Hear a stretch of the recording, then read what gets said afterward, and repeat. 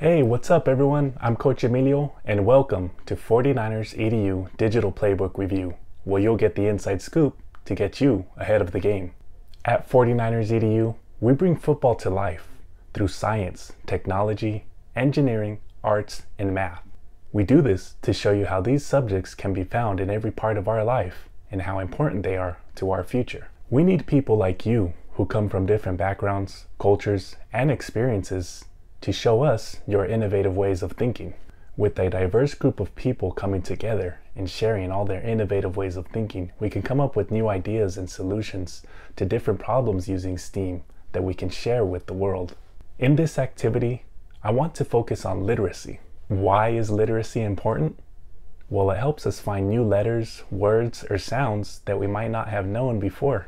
Literacy is used all the time in the game of football, whether it be coaches reading off plays, reporters asking post-game questions, and even down to the players' jerseys with their names on the back. This activity will allow you to expand your vocabulary with new words in the game of football and allow you to practice writing them in the corresponding space.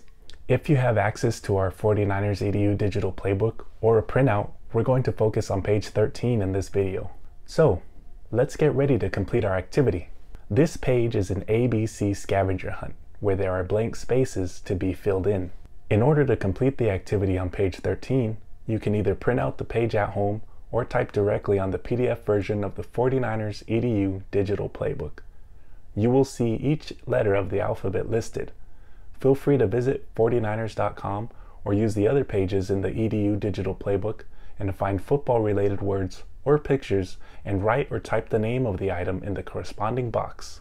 Now, I think you'll be able to handle the rest on your own, so do your best to figure it out. Take your time completing this page and don't be afraid to ask a grown-up for help. If you would like to go for that extra point, that extra point after scoring a touchdown, think of ways that you can use these new words that you found to write a creative story. Or, if you feel like drawing instead, draw out a scene with some of the words that you discover. Now see how you can use the scavenger hunt to tackle the rest of the playbook.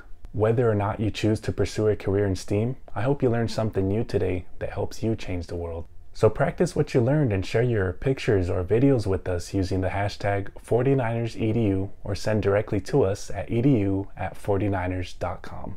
Thank you for participating with me. The description box below will have links to all the ways that you can learn with us.